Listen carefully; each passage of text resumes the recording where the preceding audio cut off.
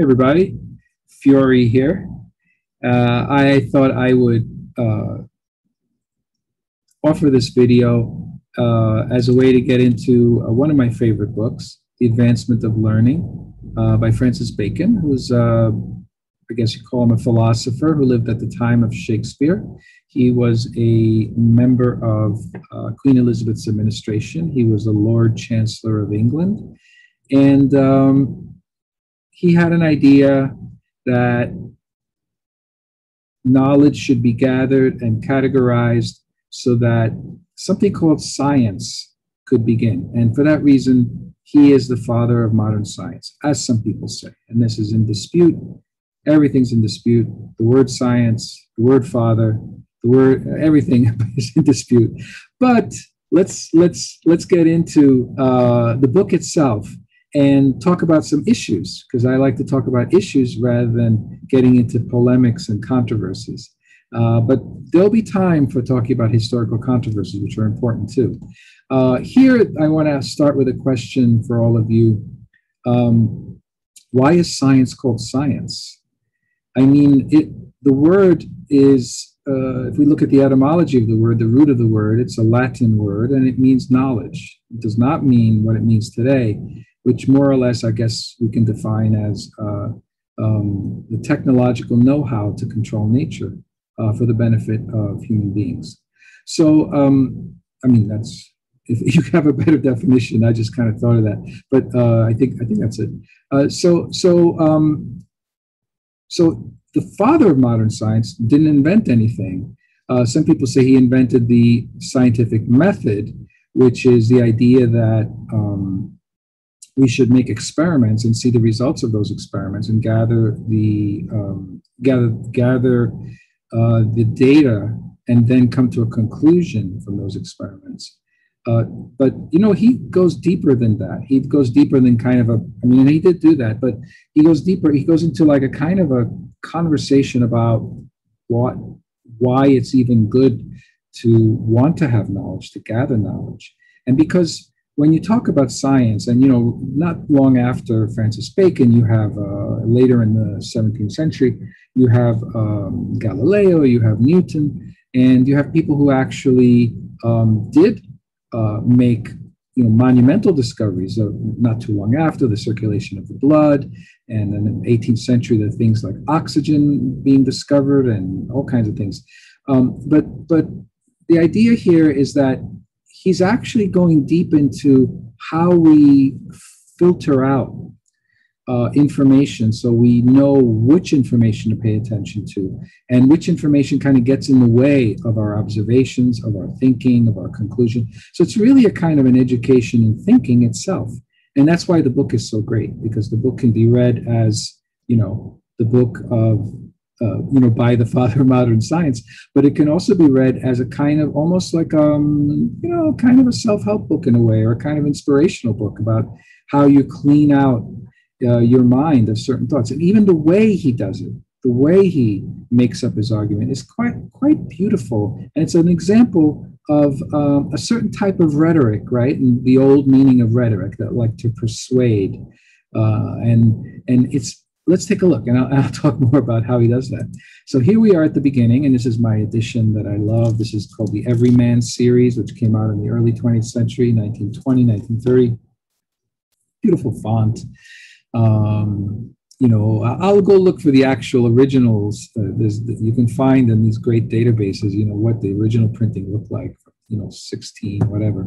But uh, this is pretty beautiful too. And um, here we have the end of the dedication. You see there's a number three up there. And then you have a section one number one. Uh, and what he's doing is quite beautiful and elegant. And what he's doing is um, he's laying out a list of objections uh, that people have against why against the gathering of knowledge right?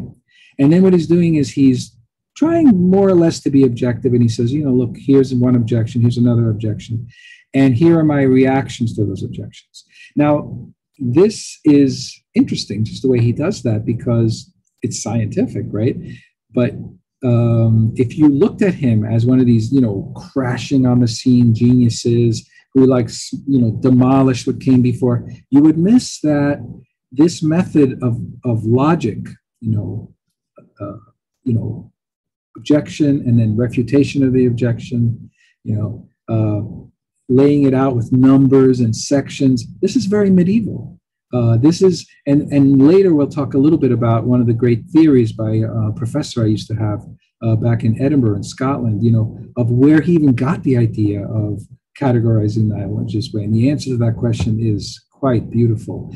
Uh, but so before we get into this thing, you know, this very modern thing of like, you know, this guy came came on the scene and, and was a revolutionary. Even that word is kind of a bizarre word. Um, which uh, whose etymology is actually beautiful in itself. We'll, we'll get into that uh, in another video, but uh, the point there is he's using medieval logic to establish a new way of talking about something. You know, it's quite. All right, guys. So, um, so he's using medieval, and but but he's not laying it out exactly the way the medievals would have done, uh, like a Thomas Aquinas, let's say. Uh, they would have actually laid that out in sections like thesis and antithesis, and they have all these beautiful words for the kinds of you know things like that. He's just having simple numbers, and here's number one. Number two is going to be an objection. Uh, you can predict the first objection. Uh, you can predict what kind of objection it would be. Has tons of them, but you can imagine what the first one could be, right? Um, and then number three will be the answer to that objection. So it's, it's really the numbers are not quite laid out as elegantly as it would be in the Middle Ages. Uh, but basically, so number one is an introduction. Number two is going to be uh, the first objection uh, to the gathering of knowledge, and then number three is going to be the the response to that objection, right? his his refutation of it. Let's get into it. And uh, oh, wow, I just love these old texts and these words. In the entrance of the former of these to clear the way. So this is, he's referring to something from before, which I'll actually skip. Feeling a little guilty, but I'll skip it. And as it were to make silence, there's the first beautiful part, right? So some people say he was Shakespeare, you know, like his language is wow. To make silence, I don't know, that's a big deal. It's a big deal to me. To have the two testimonies concerning the dignity of learning to be better heard there we go, without the interruption of tacit objections. He wants to make silence while he's telling you this, so that the true testimony about why learning is so good can be heard. He wants you to be quiet while he's while he's writing this. What, what, obviously, you're quiet. You're reading it. No, because people have tacit objections. You see that little part there? In other words, while I'm reading, I'm having some doubts about what I'm reading. So he says, you know, before I tell you all the great things about knowledge, which is much later in the book, let me kind of go through all the doubts you may have so that I can create silence and then you'll really be receptive to what I'm saying. So not only is does he have a methodology and a system for explaining science, but he's also going to explain why he's explaining and how he's explaining. Oh my gosh. Beautiful. Okay. Here we go. So here's the first objection. You can imagine what it, what it is. I hear the former sorts say, this is one of the people that objects to him, that knowledge is of those things which are to be accepted of with great limitation and caution. Knowledge is dangerous. Now, Bacon, as you know, if you study a little Bacon, uh, was the guy who said knowledge is power. But some people say, no, knowledge is dangerous. Why? that the aspiring to overmuch knowledge was the original temptation and sin whereupon ensued the fall of man. So you can imagine in the in a in a in a time of religious controversy, I won't say in a time of religion, but in a time of religious controversy, um, the religious objection is going to be the first thing on his mind and everybody's mind. Why should I go for knowledge? Isn't that the way that we got messed up to begin with? Adam ate the apple and uh, and that's how original sin entered the world, right? I'm not even going to talk about Eve because um, this is the history of patriarchy, right? So so then he continues, and he's trying to be objective and showing showing this this this um, objection um, in its full force, right? He doesn't want to do a straw man thing. So he goes, um, that knowledge hath in it somewhat of the serpent, and therefore where it entereth into a man, it maketh it makes him swell. I mean, I'm adding the Elizabethan English without even being forced to. Uh, so a little sexual overtone there, which is not unusual for the Elizabethan poetry, Elizabethan prose. When the serpent enters you, you swell. Okay. Um, uh, but by swell, there's another meaning there, which is you get a swollen head. In other words, you get um, uh, an exaggerated um, opinion of yourself. You know more. Uh, you think you're better than other people. And in fact, he goes to the Latin and he says, scientia inflat. You guys can correct my Latin. I don't know if it's scientia, scientia, scientia. Uh, but basically, it means knowledge swells you, swells a person, right? Inflat, to swell. And here you see the word science being used not the way we use it today, but the way they used it then, which is knowledge, basically just knowledge. So knowledge makes one proud. And then Solomon gives a censure. In other words, the King Solomon in the Bible um, criticizes knowledge and says that there is no end of making books and that much reading is a weariness of the flesh. And this is from, um, you know, one of the most unusual parts of the Bible, which is Ecclesiastes. That's a great quote. Made me think twice growing up. You know, I love books, and I was like, wow, in the Bible it says that too many books are bad, knowledge is bad, really. And um, so then he goes on and he quotes from the Bible again. He says, That is in spacious knowledge there is much contrastation, and that he that increaseth knowledge increaseth anxiety. And then he quotes St. Paul. So he's got a little Old Testament action, a little New Testament action going on that we not be spoiled through vain philosophy. So, so, so he's he's pretty fair here in presenting the full uh, original objection to knowledge. That isn't that what messed us up to begin with as as uh, human beings, and God doesn't want us to gather knowledge. Obviously, takes it pretty seriously. Here's his objection. Can you guess what it is? You might want to pause the video and guess. Does he object to it by saying religion is silly? Does he object by saying um, it's okay to say that, but science is a separate activity. Uh, what does he say? To discover then the ignorance and error of this opinion and the misunderstanding in the grounds thereof, it may well appear these men do not observe or consider that it was not the pure knowledge of nature and universality, a knowledge by the light whereof man did give names unto other creatures in paradise, as they were brought before him according unto their proprieties. But it was the proud knowledge of good and evil with an intended man to give law unto himself. Now, this is a spoken like a true monarchist, right? Uh, so he's like, he has this huge long sentence that's full of all kinds of layers and extra stuff laid on, right? So let's break it down. Um, God didn't prohibit us from learning about nature, plants and animals. Otherwise, why would he have given Eve the uh, the power of naming animals and Adam to categorize all living things? He already gave him that power.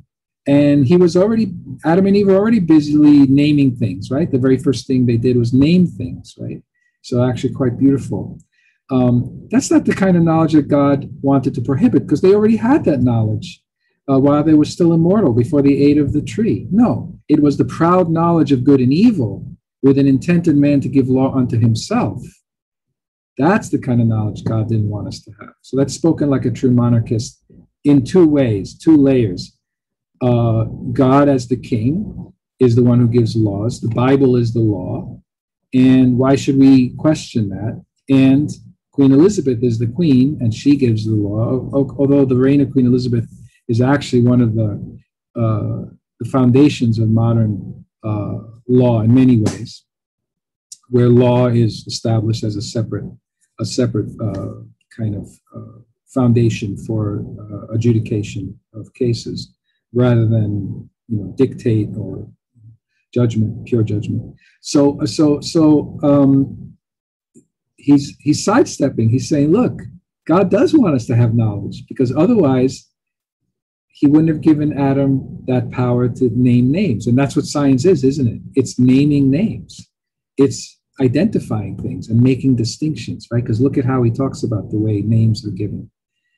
as they were brought before him according unto their proprieties. Right? So today the word propriety has a different meaning, but uh, by this sentence, I'm guessing, I mean, that's how I try to learn the meaning of words. You know, I'm, I am a second language learner. My Italian is my first language. And uh, as a little kid, I, I spoke dialect and, and I learned English when I was little. And that's how I learned it. I looked at these sentences. Gosh, what is that word propriety? Holy moly. I mean, I didn't learn this one, but uh, it must mean properties, right? So the properties of animals are being learned as Adam names them. He looks at them, he studies them, he tries to understand what their properties are, what their behavior is, and then he gives them a name, right? Um, and so that's okay. and so objection number one is taken care of. Isn't that amazing? I just love this kind of stuff. I hope you do too. And thank you so much for listening. And we will go on to a couple more little tasty tidbits from the advancement of learning. Uh, and then later on, we will get into the philosophy of knowledge uh, with Bacon. But not getting too intense on it. Um, we're not going to do it super analytically, but just in this in this kind of chatty way that I'm doing it, and hopefully uh, you'll comment, and uh, maybe somebody will be willing to talk with me about some of these ideas, and we can go back and forth and have a great time uh, exploring the history of ideas. Take care, guys.